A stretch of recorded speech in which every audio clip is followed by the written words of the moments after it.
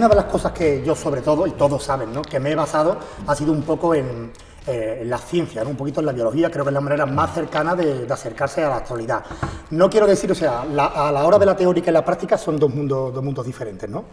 Entonces, eh, eh, desde el punto de vista de, las prácticas, está claro, insisto, no, tiene, no tiene nada que ver. Está claro que los estudios nos dicen que después de, tener, vamos a vamos a hablar de forma muy sencilla para que todos nos entienda, contracciones musculares, pues prácticamente, eh, obviamente, el músculo aumenta la síntesis proteica, o sea, la fibra muscular eh, se, producen, se producen los tres puntos importantes eh, para la hipertrofia, que son el tiempo bajo tensión, el estrés metabólico por los tiempos cortos de descanso y la laceración muscular.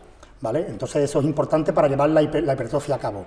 el cerebro capta que para recuperar y para que para para llevar eh, ese músculo a una adaptación superior, pues aumenta la síntesis proteica. Y eh, aumenta a un porcentaje mayor la síntesis proteica desde que termina el entreno hasta 6 horas eh, desde que termina el entreno, creando un pico alto a las 72, 36, 48 es una media, es un estudio, y va decayendo hasta 5, 6 y 7 días más tarde. O sea, la síntesis proteica nunca para, es capaz de estar hasta 10 días prácticamente. A la hora, a la hora de tener una sensación, sinceramente, eh, tú no eres capaz de notar en tu cuerpo si seis horas más tarde estás absorbiendo más proteína. ¿no? Y si a las 72 horas más tarde, eh, pues, o, a las 96 horas he notado, mira, la síntesis proteica noto que se me ha ido. Eso es imposible, son sensaciones. Ahí nos guiamos un poco por la, por la, por la teoría, por la ciencia, por, por la medicina, como, como queramos llamarlo. Para mí, eh, sinceramente, entrenar un músculo cada 10 días me parece eh, una aberración, me parece eh, un exceso de descanso. Primero, como bien hemos dicho, sin defender nada y partiendo del principio de, individualidad. para crear masa muscular, para crear hipertrofia sarcomérica, para crear una fibra muscular nueva, yo creo que lo más, el ápice más importante es el descanso. ¿Vale? Eh, pero repito lo que hemos hablado al principio, para crear detalle muscular, yo creo que un músculo necesita demasiada frecuencia. En todo mi seminario, y yo creo que soy pesado con esto, eh, siempre he puesto los mismos ejemplos de una forma básica y llana donde todo el mundo dice, pues verdad. Yo comparo muchas veces eh, las adaptaciones del cuerpo. Muchas veces, ya ve que empezaba el seminario comparaba que si te rozas mucho, por el tallo será más fuerte, ¿no? Pero utilizo mucho eh, a la hora de cómo se defiende la, sol, la piel cuando vas a tomar el sol a la playa. Mm. Entonces tú dices, bueno, yo voy a la playa y voy a tomar el sol. Obviamente lo que se crea, lo que te crea los rayos, los rayos ultravioleta es un daño en la piel. Y tu piel se defiende segregando melanina, ¿no? Para, para adaptarse a esa, a esa lesión y ponerte moreno. Nosotros lo vemos como que tenemos que estar bonito y moreno. Eh, ahora, ¿qué pasa? Mm, ¿Cómo sabemos nosotros eh, en qué momento del día eh, el sol nos, va a dar un buen moreno? ¿En qué hora del día? Donde el sol es más fuerte, donde los rayos ultravioleta. ¿Cuánto tiempo tengo que estar yo al sol? ¿Vale? Entonces, es comparable un poco a ¿Cuánto tiempo tienes en el gimnasio? ¿Cuánto tiempo de descanso? Porque si es verdad que vas a la playa, el sol te da, te pone rojo como una gamba, ¿vale? Quien sea blanquito, y al cabo del tiempo va pasando y te das cuenta cómo la piel se va oscureciendo, cogiendo ese, ese moreno guapo, y algunos pues despellejan eh, o otros no. Soy de los que piensa que si vas a la playa a una hora donde el sol mm, no apriete tanto como para crearte una lesión fuerte en la piel y estás un poquito de tiempo y coges un, moreno guapo, yo creo que pasado mañana podrás ir a la playa a coger ese moreno guapo. ¿Dónde está el problema hoy en día? Que la gente va al fallo en todo y crea un fallo neuronal increíble. Y viene ese sobreentrenamiento neuronal que es el que lo deja frito y llega el viernes y dice, yo no tengo cojones de ir al gimnasio. Ahí es donde el, heavy duty hace hincapié, en el sobreentrenamiento eh, neuronal, creo que no, no, no muscular, aunque existe también. Eh, pero en menor grado porque la fibra muscular es muy, es muy mordeable y muy recuperable. Ahí es cuando creo, creo que sí hace falta descansos largos. Eh, yo pienso que la carrera deportiva de, un principiante, de una persona que empieza en los hierros, yo creo que fundamentalmente tiene que estar precedida por, los pesos o el heavy duty. ¿Vale? Con cabeza.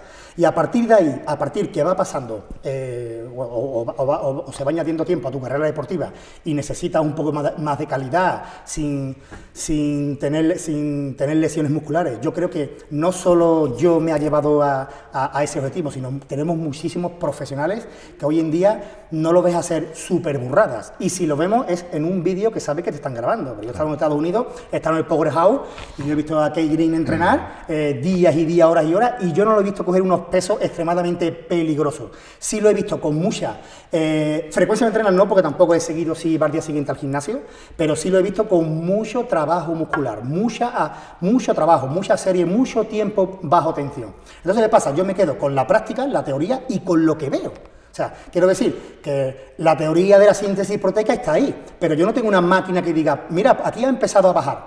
Yo creo que la, sobre todo los, estudios científicos van un poco al mínimo. Yo creo que ese estudio puede estar basado en una persona que ha ido al gimnasio y ha manejado una mancuerna pues eh, tres segundos. Yo creo que la síntesis proteica puede durar más. ¿Vale? Yo tampoco defiendo que haya que entrenar la frecuencia eh, cada tercer día. Eh, yo hay veces que cada una frecuencia, cada, cada segundo día o cada tercer día, me he sobreentrenado, ¿vale? Eh, si tengo que quedarme con una frecuencia, es cada la que seguía eh, eh, la, primera frecuencia que eligió Coleman, que era cada, cada cuarto o 15, días, o 15 días. O sea, repetía un músculo el lunes o jueves, ¿no? O martes y sábado, ¿vale? Me quedaría con, con, esa frecuencia. Sí, yo, por ejemplo, la frecuencia óptima que cuando puedo la hago es dividir el cuerpo en cuatro días de entrenamiento y entrenar seis, ¿vale? Que es una vez y media tal.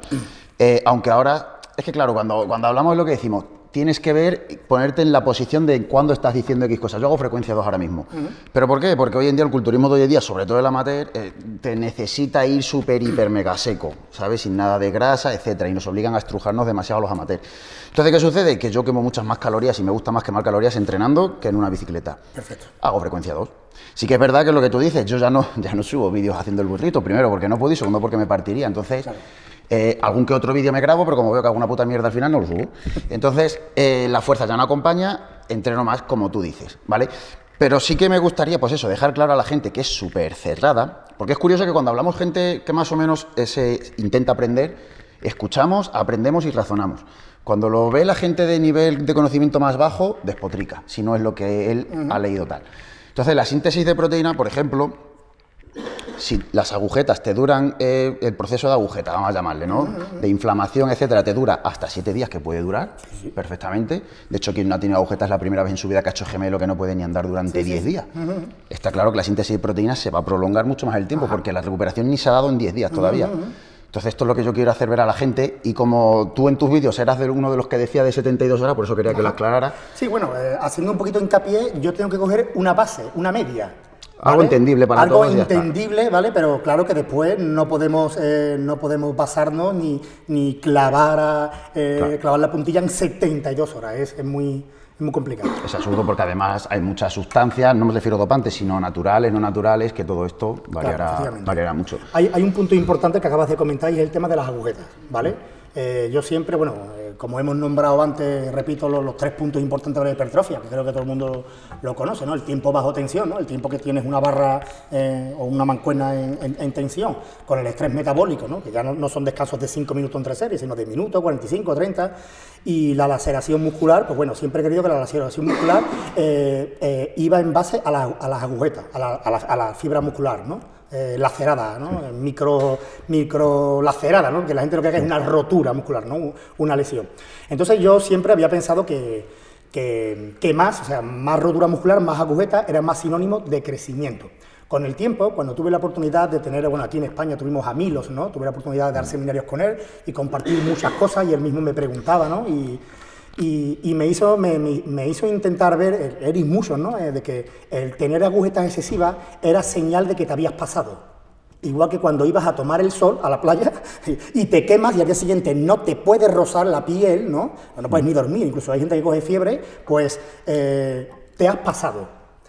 Entonces yo dije, ¿y cómo demuestro eso? ¿no? Y él me preguntó, eh, ¿cuál, es, ¿cuál es la parte muscular que más agujetas coge? Y yo le dije, el pectoral. Efectivamente, no puedo ni rozar. Y el músculo que menos agujetas tiene, digo, bueno, pues en mi vida, en mi vida, agujeta que yo sepa que no he cogido es la espalda. Y prácticamente dije, el pectoral es mi fallo muscular. La espalda es mi músculo bueno. Eso lo he dicho yo también, Entonces, ¿qué, qué, voy a defender? Pues voy a defender una realidad, ¿vale? Entonces muchas veces, eh, si lo, quieres medir en sangre, te miras el nivel de, de de CPK, el nivel de rotura muscular en sangre, vas a ver que sin tener agujetas y dolor, la CPK está elevadísima, porque hay rotura muscular. Y eso no quita de tener un poquito de dolor. Pero ese dolor excesivo de no poder moverte, yo creo que te has pasado. Y ahí tener una frecuencia incluso de 7 días, yo creo que es excesivo. Se puede tener una frecuencia hasta de dos semanas porque te has pasado. Te has pasado de tener una agujeta o una, una laceración muscular a tener una media lesión. Yo creo que es que muchas veces la gente no entiende eh, el proceso de agujetas como tal, que tiene que ver con el ácido araquidónico almacenado, la salida y la, bueno, y la creación de prostaglandinas y todo este rollo. Entonces, ¿qué sucede? Que cuando tú entrenas mucho un músculo, no le da tiempo a reponer mucho ácido araquidónico.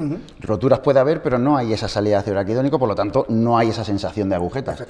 Y además es curioso, eh, no sé yo, porque eso también me lo he planteado muchas veces, que los músculos débiles y los músculos hacia atrás son los que más agujetas salen, los que más se lesionan y los que más tardan en recuperar. Efectivamente. Pero claro, eso es. Eh, la gente siempre identifica agujetas con rotura muscular, con crecimiento muscular. Y no tiene por qué, porque tú puedes hacer una sesión de estiramientos, hay roturas musculares, hay agujetas, pero crecimiento no va a haber ninguno. ¿Vale? Entonces, claro, la gente, mm, la gente muchas veces no, pensamos que la liberación de ciertas citoquinas, como el IGF-1, es a través de ciertos estrés corporales. ¿vale? Y, por ejemplo, las agujetas producen roturas, o sea, el estiramiento produce roturas, produce agujetas, pero no crecimiento. De hecho, produce hiperlasitud si lo ocasionas mucho.